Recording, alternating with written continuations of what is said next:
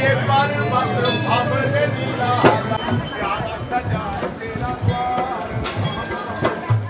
Everyone क्या हाल चाल है आपका? आई होप कि आप लोग सब बढ़िया होंगे। तो आज हम आ चुके हैं ज्वाला जी माता मंदिर की तरफ़ और हमने अभी अभी प्रसाद वगैरह ले लिया है। लाइन में लगे हैं हम, थोड़ी देर बाद ब्लॉग शूट कर रहे हैं। तो बने रहिए हमारे साथ, आपको एक बार मंदिर की झलक बताऊँगा, इसी वीडियो में बने रहिए। और मेरे साथ है मोहित। मोहित, आप बोलना चाहेंगे कुछ? जय जय माता दी जय माता दी ज्वालामुखी मंदिर जिसे ज्वाला जी माता मंदिर के नाम से भी जाना जाता है हिमाचल प्रदेश के कांगड़ा ज़िले में एक प्रसिद्ध मंदिर है। यह इक्यावन शक्ति पीठों में से एक प्रसिद्ध पीठ है। माना जाता है कि जब देवी सती के शरीर के इक्यावन अंग हुए थे तो उन इक्यावन अंगों में से देवी सती की जीव यहाँ पर गिरी थी और तब से यह एक प्रसिद्ध शक्ति पीठ बन गया। हर वर्ष यहाँ पे बहुत से श्रद्धालु अपनी मनोकामनाओं को लेके आते हैं और माता के दर्शन करते हैं। यहाँ पर माता के दर्शन ज्योति रूप में हैं। अगर आप धर्मशाला और कांगड़ा की तरफ़ से आ रहे हैं तो आप रानीताल होते हुए माता ज्वाला जी मंदिर की तरफ़ आ सकते हैं। अगर आप हमीरपुर और अम्ब की तरफ़ से आ रहे हैं तो आप वाया नदौन होकर भी ज्वालाजी माता मंदिर आ सकते हैं।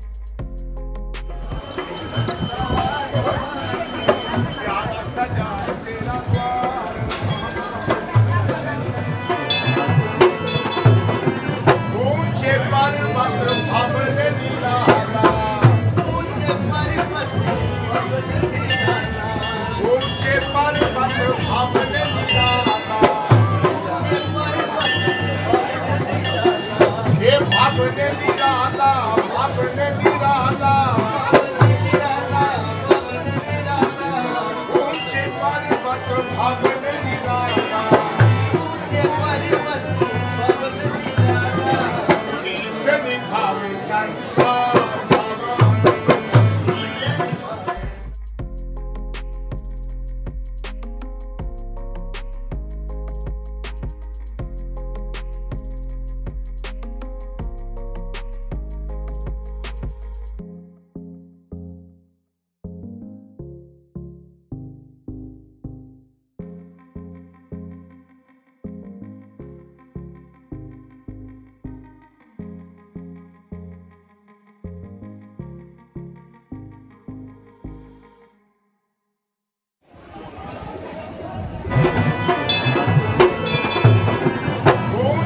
पर्वत भवन निराला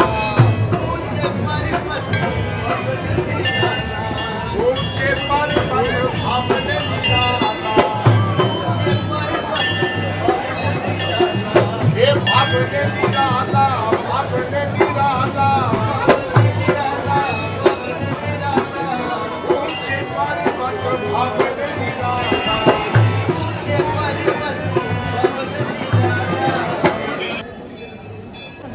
तो दोस्तों अभी हमने दर्शन कर लिए हैं तो हमें कितना टाइम लगा मोहित? हमें 30 से 40 मिनट लगे हैं और शाम के 6 बजने वाले हैं सनसेट का टाइम हो गया। हाँ तो दर्शन हो गए माता रानी के जय माता दी जय। तृप्त हो गया।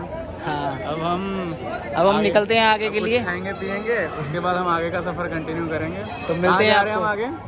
हम जाएँगे बाबा बालकनाथ। अब बालक नाथ ही जा रहे हैं बने रहिए।